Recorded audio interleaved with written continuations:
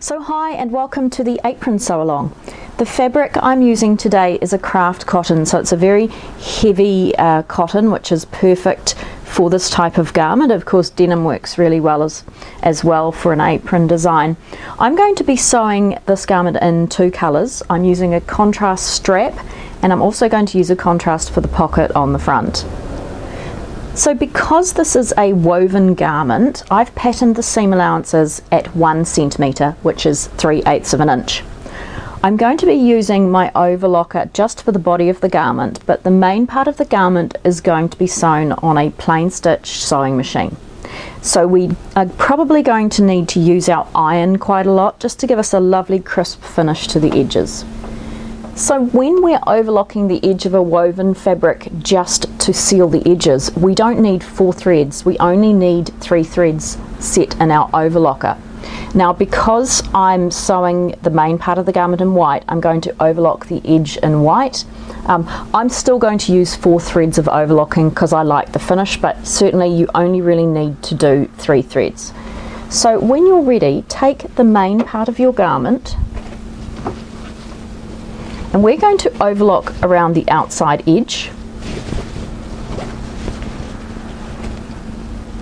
And we're going to overlock from here all the way around back up to here on the other side. There's no need to overlock across the upper edge. And if you look in the upper edge you'll see notches anyway. And we're going to use those for placement positions later on. So when you're ready let's just get started and overlock around the outside of this garment The other thing about overlocking this garment is we're only going to overlock on the edge of our fabric. We're going to use the blade just to cut off any stray threads or any unravelling just to secure it.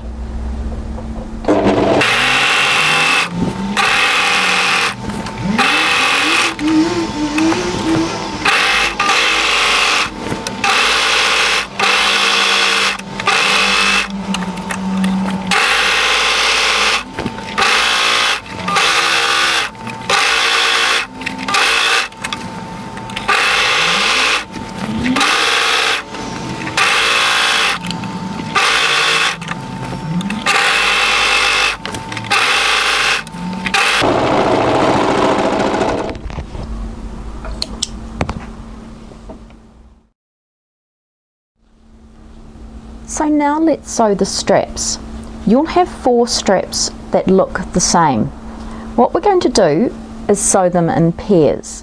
So take two of them, place them right side together, and what we're going to do is starting at the flat end, sew down in a 3 eighths of an inch, one centimetre seam, and all around the outside back to here. We're going to leave this edge open as our turning edge.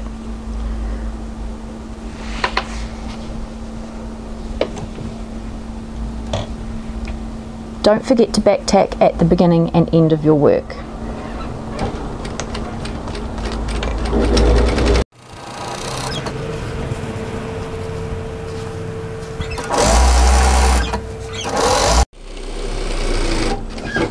There is a notch to match part way down.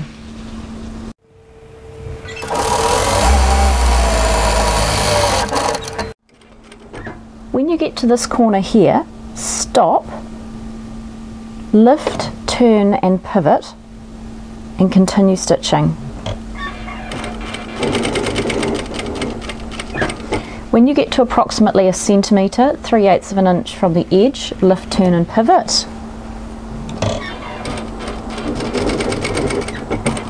And stop again when you're 1 centimetre from the edge here, 3 eighths of an inch. Stop with the needle down in your work, lift, turn and pivot.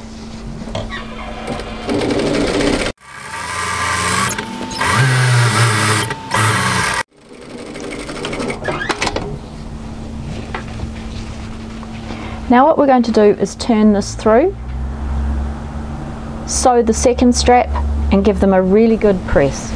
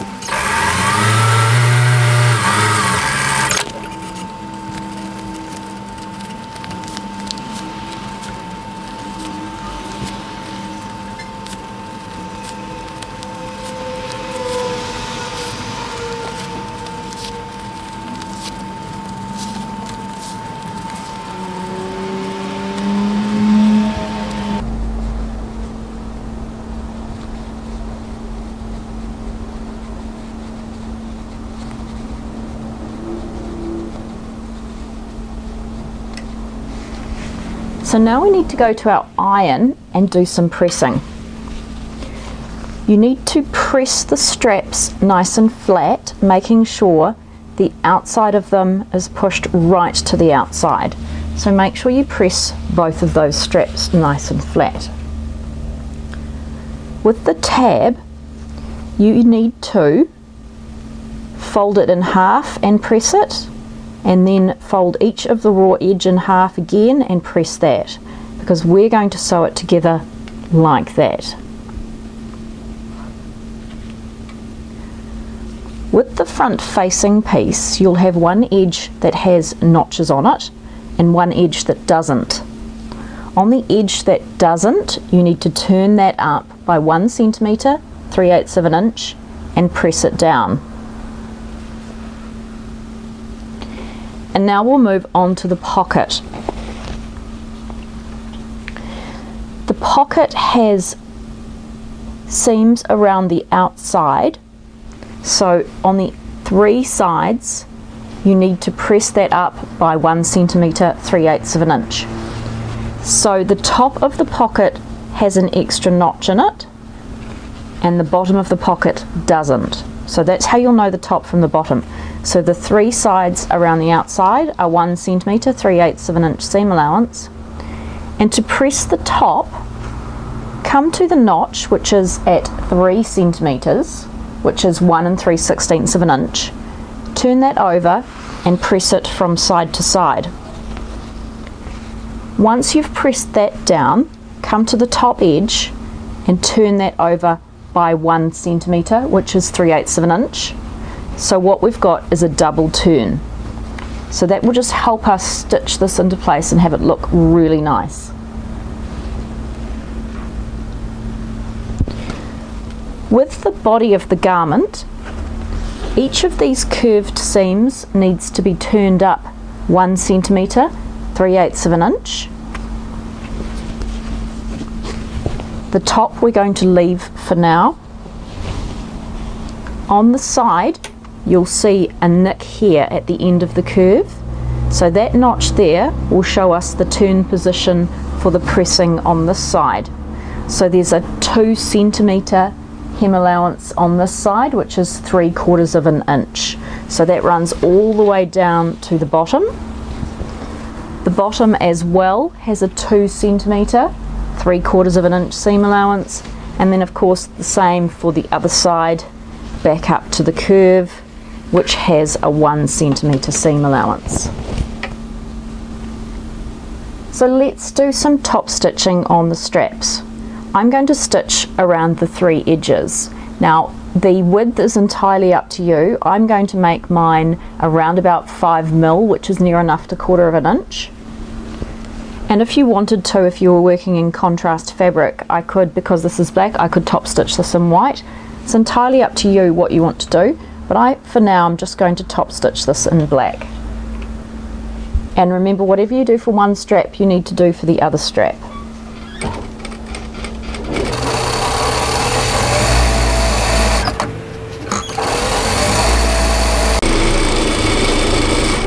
If you start to get a bit of tunnelling, just lift your foot and just release the tension slightly.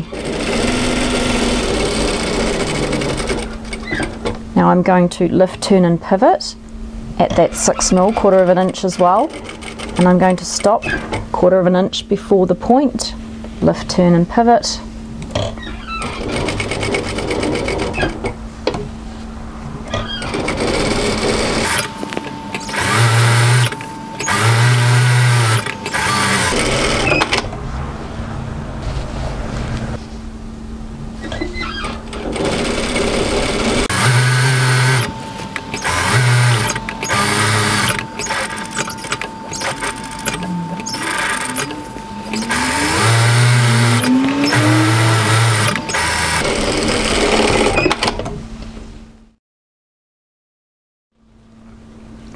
So what I've done is sew an edge stitch right on the edge of the top of the pocket piece to create the um, area that the hand can go in. I've sewn this from the back but you could just as easily sew it from the front if you prefer.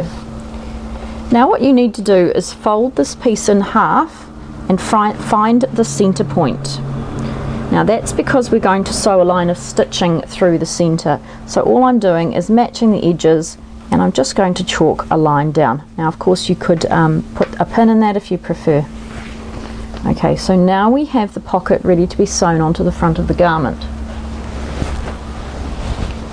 If we take our garment, place it right side up under your machine. And you'll see small circles that have been drawn on your pattern which are called drill holes. So the drill holes are to help position our pocket in the correct place. On this pattern, the drill holes have been made to be one centimetre, three eighths of an inch.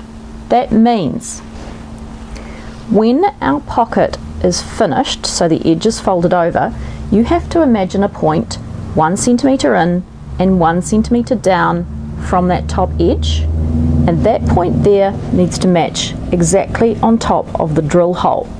Now that's because in the garment industry drill holes are physical holes in your fabric so this is designed to cover them. So what we're going to do is start placing our pocket in the correct position. So making sure the apron is right side up with the top at the top and the bottom at the bottom and you have this edge we've just sewn at the top. Here is our drill hole mark. Imagine that position, one centimetre, three eighths of an inch in and down from the folded edge and then place that directly on top of the drill hole and hold it into position. Now we're going to do exactly the same on this lower edge. Fold up the space that you ironed and find that position one centimetre in and one centimetre down like so and that will fit directly on top of that drill hole. Now if you've done something a little bit strange in your cutting and you find this needs to be stretched don't. It's more important that the pocket sits flat than this is exactly on top of each other. The main thing we want to do is make sure we hide those holes. So we'll come to the other side and do exactly the same thing. Tuck under that fold position. Place that directly on top of your drill hole in the correct position like so. and the last one as well.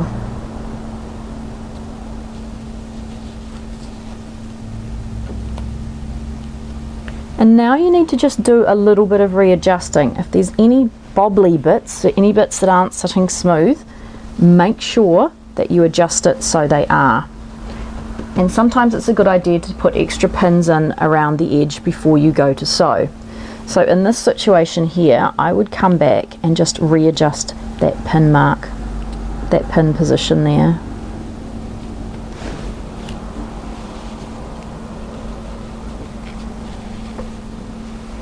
Right, so now I could sew this in a contrast colour if I wanted to.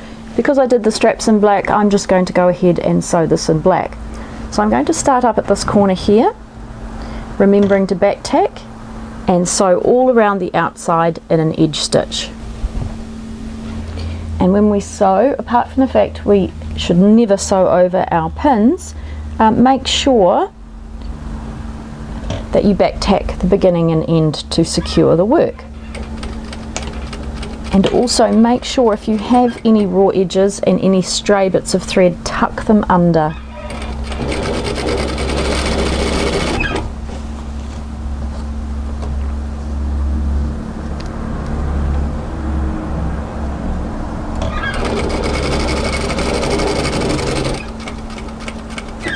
When you get to this corner position, stop with the needle down in your work, lift, turn and pivot with that presser foot. And then just rearrange the work before you continue.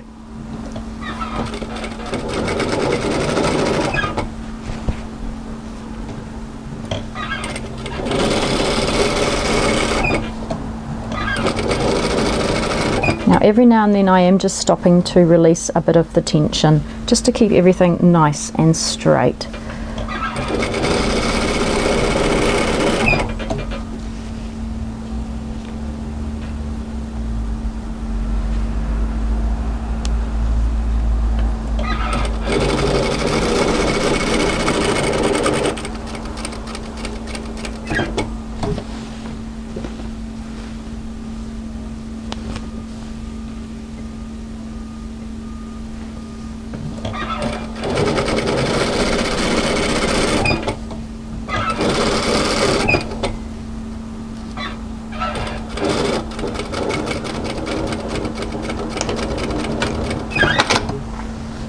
Okay, so now I'm going to sew the centre seam in my pocket just so I have two hand positions. So I'm going to make sure my needle starts exactly on the stitching line down the bottom and I'm just going to follow my chalk line up, remembering to back tack.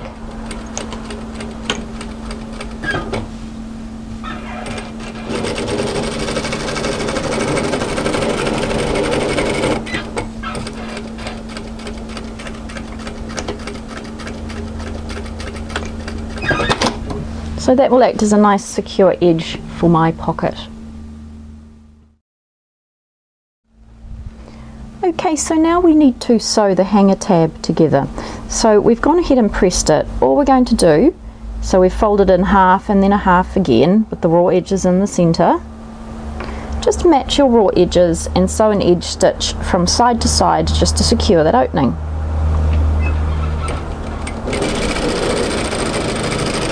And there's no need to back tack the beginning and end of that. So find the notch close to the centre on this folded edge and place the tag like this. What I'm going to do is place the tag in the very centre of the notch so that this is perpendicular which means at right angles and I'm just going to secure actually I'm just going to bring it up from the edge to hide it a little bit and I'm just going to sew a couple of back tack stitches to secure it. Then I'm going to come across and come down again to the other notch position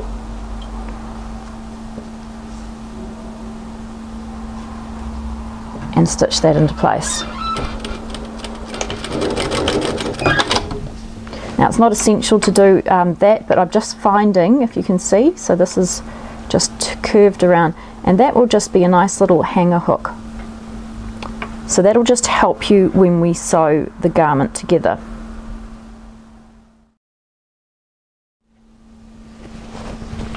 Take the body of the garment and place it right side up and take this piece, the facing piece that you just sewed and place it right side down like so. So what we want is this um, tag at the bottom and then just match the notches at the front and I'm just going to pop a pin in place to hold that into position. So if you've cut this properly, this raw edge should be sitting exactly on the overlocked edge here. Now you need to take one of your straps and we're going to place it within those two layers. So the position for the strap is you want the edge of it to sit on the edge of the fold like so.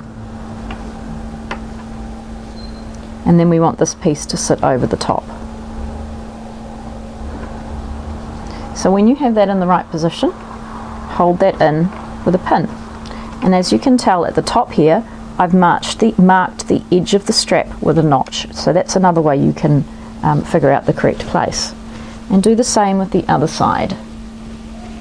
Take the top of the strap, notch position here, Make sure you are one centimetre, 3 eighths of an inch in from the edge. And then just hold that in place with a pin. Okay, so now we're going to sew this into position.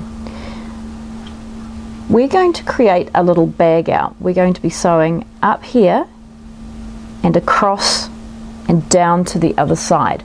So this is a one centimetre, a 3 eighths of an inch seam. Now you have to make sure when you sew up that you don't catch the edge of the strap.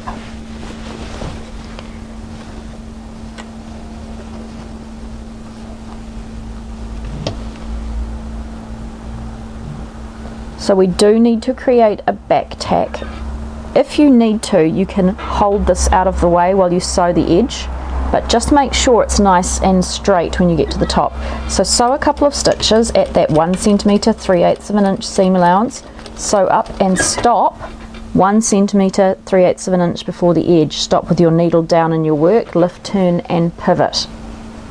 Rearrange the work so the strap is straight and stitch across the top matching all your notches.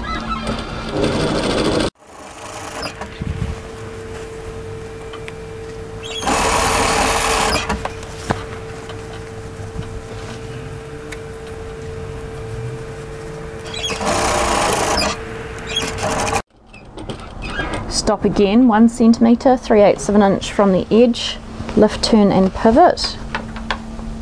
Open this up and if you need to just pull this strap out of the way and stitch down until you finish right on that fold. And back tack. Right, so what we're going to do now is turn this, this through and check our work.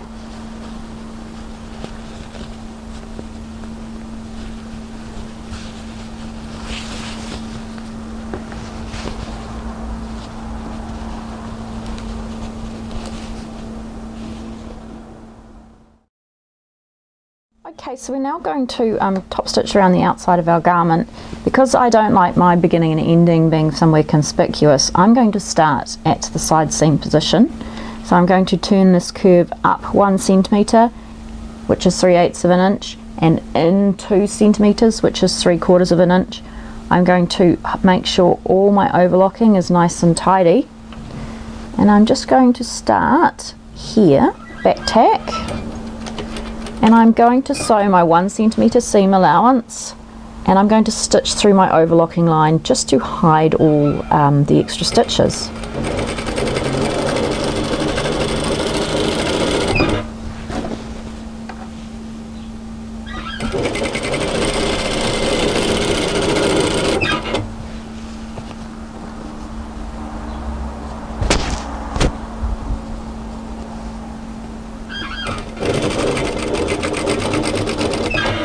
Now, when I get to here, I'm actually going to go all the way to the top.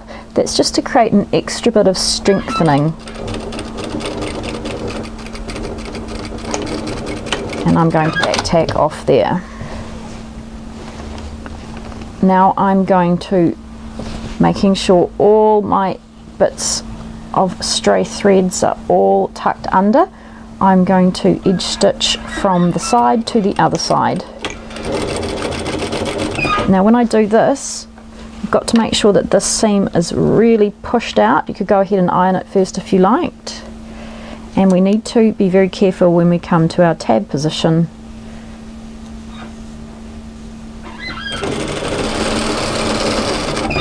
So making sure that tab is pushed down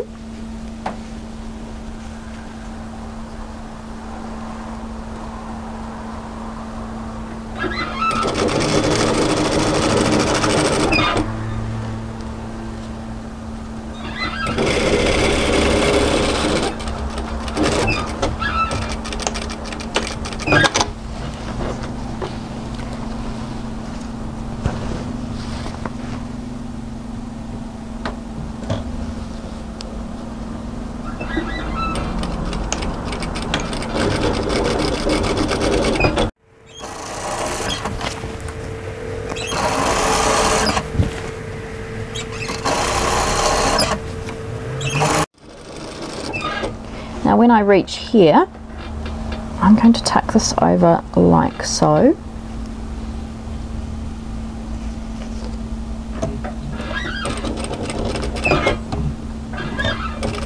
I'm only going to go as far as the overlocking line there. I'm going to lift, turn and pivot and sew down to the hem.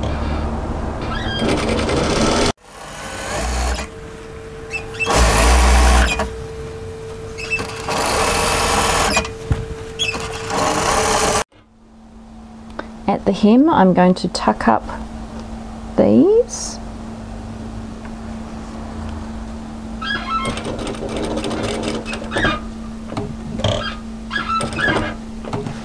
Now of course if you wanted to you could always mitre these corners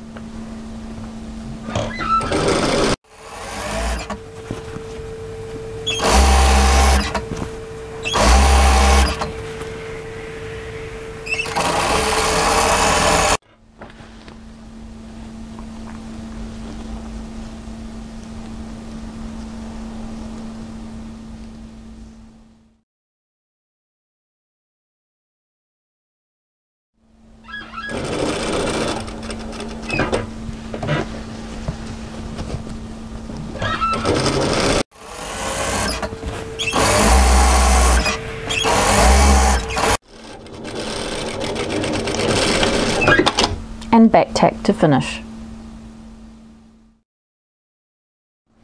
So when you're ready, place your button in your buttonhole attachment and sew the buttonholes onto your garment. So the buttonhole position is marked on the pattern. The best way of doing the buttonholes is to mark the start and then draw the centre line and the back will finish depending on the button you've chosen. So just choose a nice chunky button and suggested sizes are on that information sheet.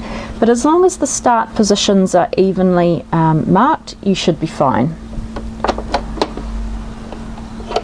I'm going to start on the middle one